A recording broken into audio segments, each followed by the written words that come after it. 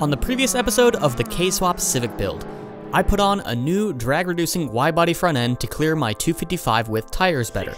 This front end required that I change my headlights over to the 99 spec design. I then put on a 60-inch PCI rear wing to create some rear downforce to match my soon-to-be created front downforce. Put on some 5-inch PCI side skirts to reduce some more drag, and the car is starting to look like a real track machine. Let's keep going in this episode.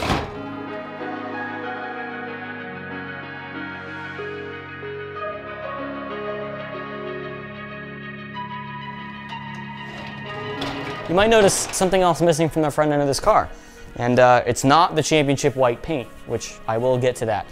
We're missing a big front splitter. And in this class, I'm allowed to run a three inch splitter from the front of the bumper. So we're gonna make a custom one, obviously, um, that's gonna go around this. And um, I am no aero engineer. I don't really know the best way about how to make the most downforce out of a splitter, but I know somebody who does know how to make the most downforce out of a splitter.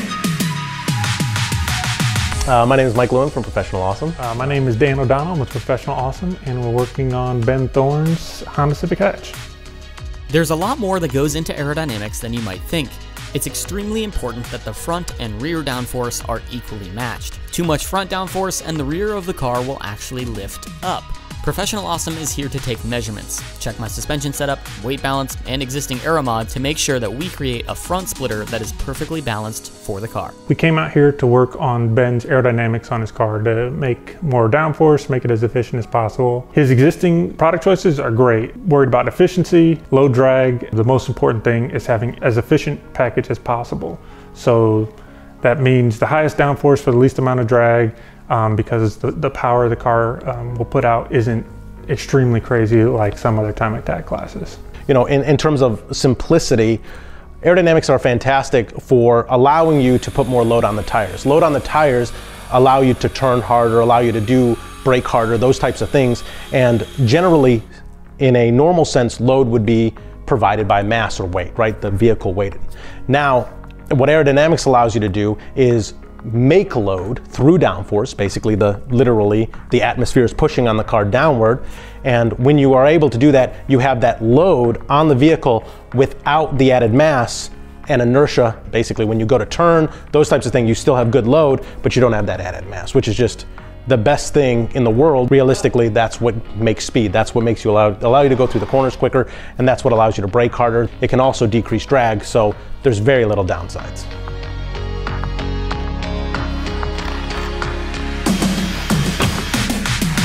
We're going with the wood splitter. We generally recommend a half inch, but we're going with a three quarter this time because it's uh, a little bit more robust, it's a little stiffer, those times things rigid, and that's what Ben's asking for, as well as it'll, it'll last a little bit longer because it is stronger. For the new class that Ben's gonna be competing in, he's a little underweight, and so that weight being, you know, low front of the car, it's good for the CG, it's good for the car. The rules allow for about three inches from stick out of the bumper. That means three inches extension from any point in that bumper. That, that's a really simple type of splitter to use. There's two ways that that splitter will make downforce. One, air will pile on top of it in terms of the front of the car. If you're looking down, it will actually pile on that three inches of stick out. The other way that the splitter makes uh, downforce is by literally splitting the air and some of that air going under it will be accelerated. And once it's accelerated, it creates a low pressure zone under that splitter.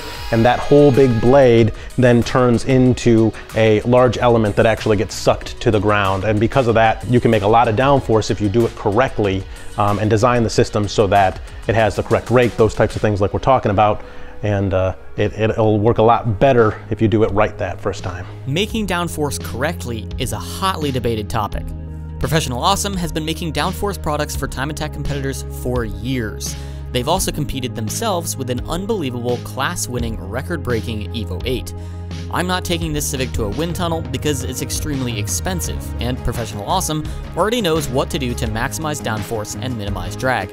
And as far as the class rules that are required in my class, this is the maximum downforce minimum drag setup for my Civic. We use this clevis and rod end and it clamps onto the rod and we do this because we built in a little bit of angularity into the um, the quick releases so you can set your angle, your pitch, to get as much performance out of it as possible. And these allow you to make use these rods that are really strong. Um, once you put them all together and assemble them, they're extremely strong. They can handle a ton of load, but they're also slightly flexible. You can see how it's got a little flex to it. But if you hit something, they'll take a little bit of a flex, like they'll take that little flex, and they won't hurt your other components that you're mounting to.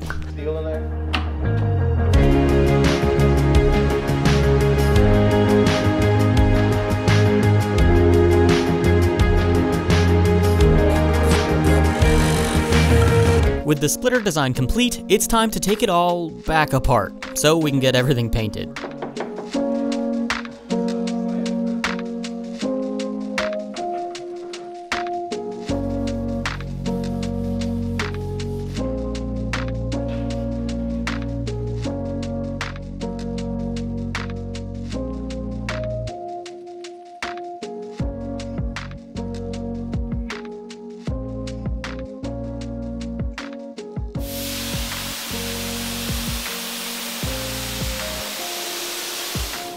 Okay, while we're waiting on the bodywork to get painted, I'm going to put some extra support bracing onto this splitter.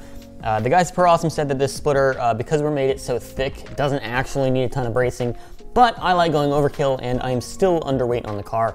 So uh, it's not gonna hurt anything by adding any extra bracing, just gonna take a little bit more time. So uh, I have some angle iron here. I'm going to put basically straight across to prevent the splitter from bowing over time. Um, and then I have another one that's gonna go on the back here.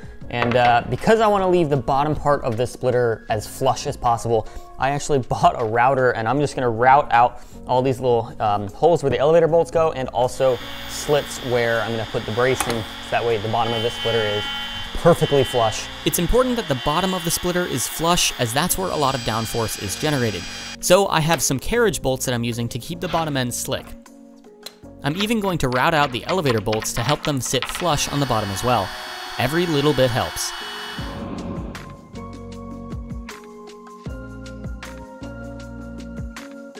The bracing helps keep everything very rigid, and now it's time to seal the wood with some black paint and clear coat deck sealant.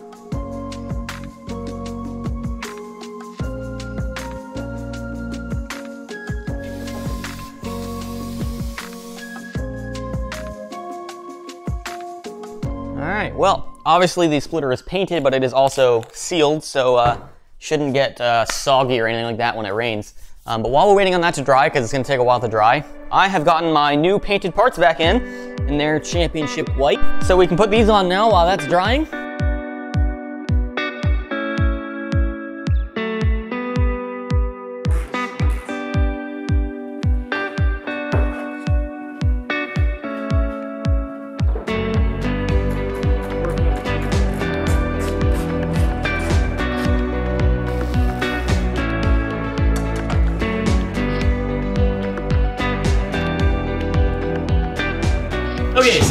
We have the bumper on and painted, we're gonna cut it up. Obviously, I don't have any ducting for my radiator cooling, which I do need. I ordered this specifically with these holes not cut out because I am not gonna cut out this hole size. Um, ideally, I wanna keep drag down, which means the smallest hole possible, the smallest opening possible. Generally, rule of thumb is about one third of the radiator core size. So we'll measure the uh, square inches of the radiator core, and that will be the size of the opening. Blah! That's the sound of VTEC cracking.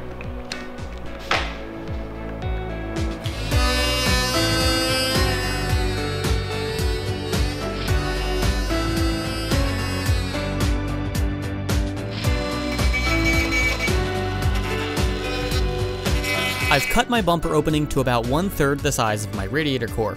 Now it's time to create some ducting to route that air into my full-size radiator.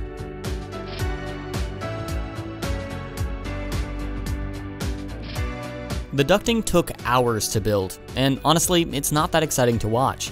It's mostly measuring out flat panels, cutting, and making some more bracketry. Eventually, though, the ducting began to take shape.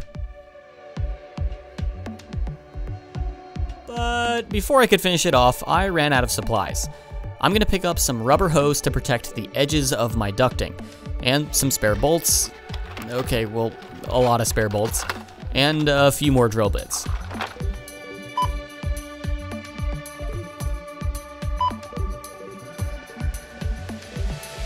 Because this ducting, we want to get it as close to the radiator as possible to make sure that the airflow is forced through the radiator.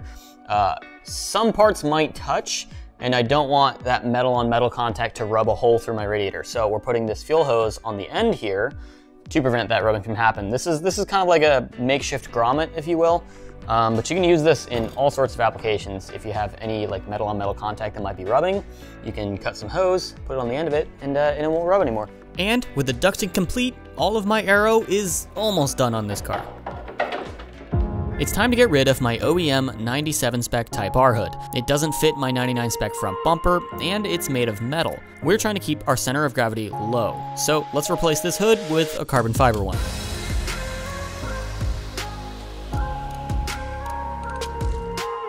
Carbon fiber is brittle, and unfortunately, the company that I ordered this hood from didn't package it right and it arrived cracked. But that's okay, we won't look too closely at that. This hood is 9 pounds lighter, which means I get to put more ballast weight in the car at a lower and more centered position. And now that I'm hooked on carbon, I'm going to replace the OEM mirrors with some more drag reducing APR carbon fiber mirrors. Okay, just removed the stock mirror, obviously, because we are putting in some not stock mirrors. Now it's controversial whether these actually reduce drag or not, I don't know, but they look cool, so I'm putting them on anyway. They're much smaller in footprint, so, and because I'm allowed to run them in the class, I'm gonna use them. And that's the final piece for my aerodynamic overhaul. I think it's time we take it to the track and see how this stuff works. I've come to my home track at VIR to test out the aero balance. It's going to take me some time to get used to all of the increased lateral Gs, but I am blown away. Downforce is so much fun. It seems like the aero balance is pretty close, but I'll probably need a bigger rear wing. I'm glad that I came to test this stuff to make some more changes and dial in the car even more. This car is certainly faster than it's ever been.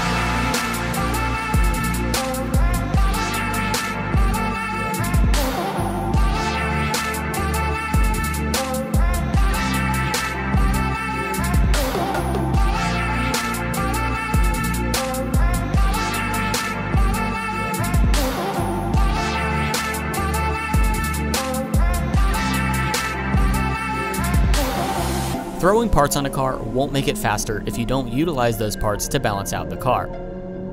And after a year of testing this car with no aero, it's made the switch to downforce much easier to dial in. I can't wait to see how it performs in its new time attack class this year. But we're not done with modifying this car for the new class just yet. We've got some changes to make to the powertrain.